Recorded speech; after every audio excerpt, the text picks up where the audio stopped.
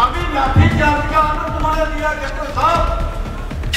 सुन ले, अगर ये लाठी चार्ज का आनंद कहीं तुम्हारे ऊपर हमने दे दिया ना तो ये तुम्हारे जेजेपी वाले बीजेपी वाले मुँह नहीं करेंगे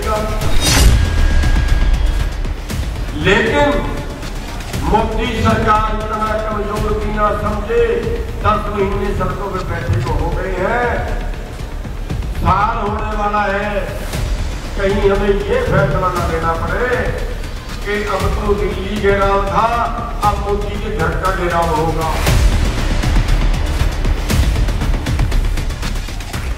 हमारे सिर के आ रहे खट्टर साहब, हमारे शरीर में के आ रहे खट्टर साहब, इतने और मत मार के देखने या देख ले शराफत का नजायज फ़ायदा मत उठाना।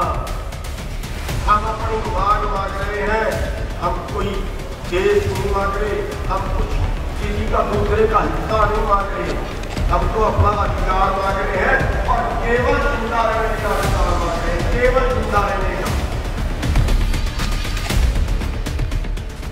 ਕਿਸਾਨ ਆਗੂ ਗੁਰਨਾਮ ਸਿੰਘ ਚੜੂਣੀ ਨੇ ਸਟੇਜ ਨੂੰ ਸੰਬੋਧਨ ਦੌਰਾਨ ਪ੍ਰਧਾਨ ਮੰਤਰੀ ਨਰਿੰਦਰ ਮੋਦੀ ਦੇ ਘਰ ਅੱਗੇ ਧਰਨਾ ਦੇਣ ਦੀ ਗੱਲ ਆਖੀ ਇਸ ਦੇ ਨਾਲ ਹੀ ਚੜੂਣੀ ਨੇ ਕਿਹਾ ਸਰਕਾਰ ਕਿਸਾਨਾਂ ਦਾ ਸਬਰ ਨਾ ਪਰਖੇ ਜੇ ਕਿਸਾਨ ਆਪਣੀ ਆਈ ਤੇ ਆ ਗਏ ਤਾਂ ਬੀਜੇਪੀ ਤੇ ਜੇਜੇਪੀ ਲੀਡਰਾਂ ਦਾ ਬਾਹਰ ਆਉਣਾ ਮੁਸ਼ਕਿਲ ਹੋ ਜਾਵੇਗਾ को क्या कहिए अब तो शौक शहादत को क्या कहिए अब किसानों ने हाथों पे सिर ले लिया है अब तो शौक शहादत को क्या कहिए अब किसानों ने हाथों पे सिर ले लिया है अब और कत्ल होने से कब तक डरे जब कातिलों के? मोहल्ले में घर ले लिया है।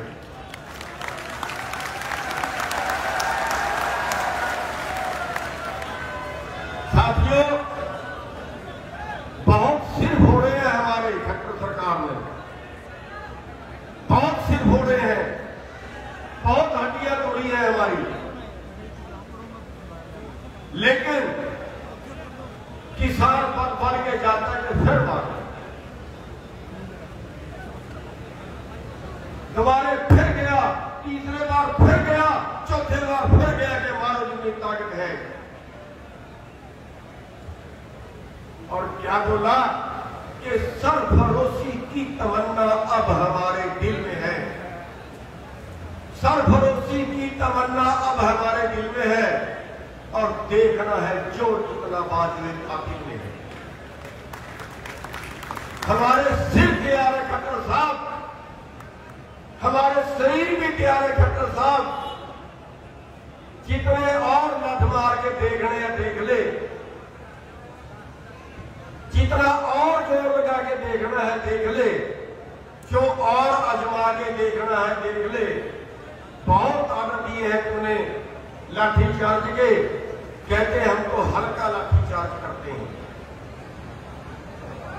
कहते हैं हल्का लाठी चार्ज करते हैं, लेकिन हम खट्टर साहब को बता देना चाहते हैं, शराबत का नजायज फ़ायदा मत उठाना। शराबत का नजायज फ़ायदा मत उठाना। हम अपनी मांग मांग रहे हैं, हम कोई देश नहीं मांग रहे, हम कुछ किसी का दूसरे का हिस्सा नहीं मांग रहे। हम तो अपना अधिकार मांग रहे हैं और केवल ज़िंदा रहने का अधिकार मांग रहे हैं केवल ज़िंदा रहने का परमात्मा भी खुश हो गया बारिश आ गई है।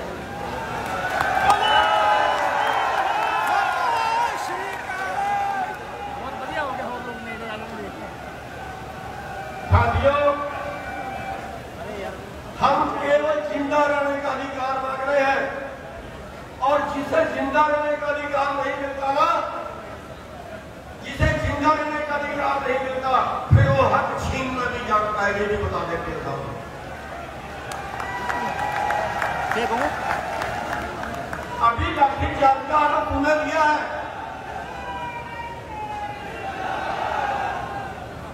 अभी लाठी चार्ज का आरोप तुम्हारे दिया कलेक्टर साहब। सुन ले, अगर ये लाठी चार्ज का आरोप कहीं तुम्हारे ऊपर हमने दे दिया ना तो ये तुम्हारे जेजेपी वाले बीजेपी वाले मुँह नहीं करेंगे?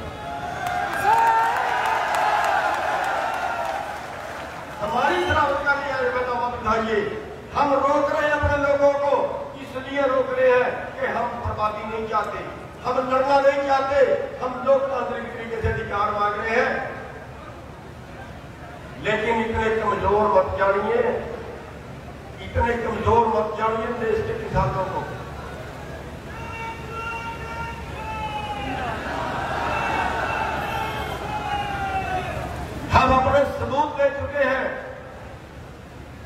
सबूत दे चुके हैं, हमारे परिवार सीमा में लड़ रहे हैं।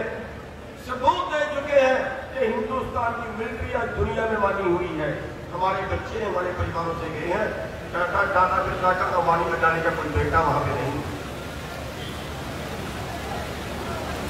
इनमें वही खून है जो हर किसान बैठे हैं, जो हमारे सीमा के जवान हैं उनमें जो वही खून है।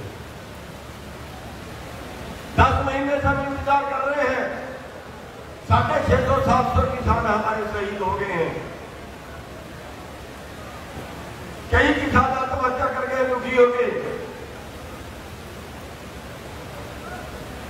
साथियों, लेकिन सब्र की एक हद होती है। सब्र की एक सीमा होती है।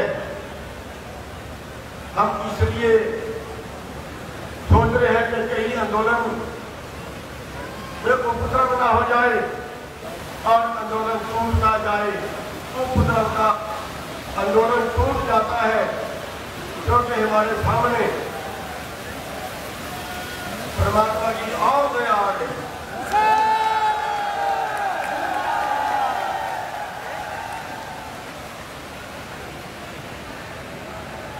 हम आंदोलन को बड़े शांतिपूर्वक तरीके से कराना चाहते हैं। आंदोलन में कोई उपद्रव हम नहीं करना चाहते। क्योंकि हम उपद्रव के भी नतीजे भुगत चुके हैं। उपद्रव के भी नतीजे भुगत चुके हैं हम। हम डंडा सोटा बिल्कुल नहीं होना चाहते। हम इसीलिए बार बार कहते हैं कि अगर पुलिस न की हम करके खाएँगे मारी। क्यों? क्योंकि तो उन्नीस सौ तिरानवे में आंदोलन हुआ था। हमारे दो भाई जी सब के अंदर शहीद हुए थे। आंदोलन के एक महीने के अंदर अंदर टूट गया। सतनाली के अंदर बंसीलाल के टाइम में हमारे पाँच भाई शहीद हुए थे। आंदोलन एक महीने के अंदर टूट गया था। कंडेला कुलकनी के अंदर हमारे सात भाई शहीद हुए थे। आंदोलन एक महीने के अंदर अंदर टूट गया था। हम इसलिए आपसे रिक्वेस्ट करते हैं, बहुत गुस्सा है हमारे भाइयों में लट उठा के जाते हैं। बहुत गुस्सा है कदर करते हैं हम सलाम करते हैं आपके क्रोध को और आपके जोश को। लेकिन उसके साथ हमने होश ज़रूर बना के रखना है, हम किसी पे हाथ नहीं उठाए लेकिन मोदी सरकार इतना कमज़ोर भी ना समझे दस महीने सड़कों पे बैठे को हो गए हैं। साल होने वाला है, कहीं हमें ये फैसला ना लेना पड़े कि अब तो दिल्ली घेराव था, अब मोदी के घर का घेराव होगा।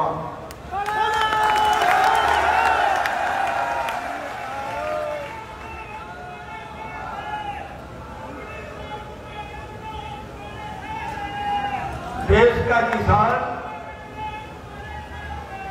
देश का किसान मरने से नहीं डरता है, नहीं डरता है मरने से। ये तो केवल केवल और केवल हमारी जो कमेटी है, जो संयुक्त मोर्चा है, हम भी उसमें शामिल हैं। केवल उसके आदेश की तरफ़ देख रहा है कि कब वो आदेश दे, कब वो आदेश दे और कब हम दिल्ली को फतेह करें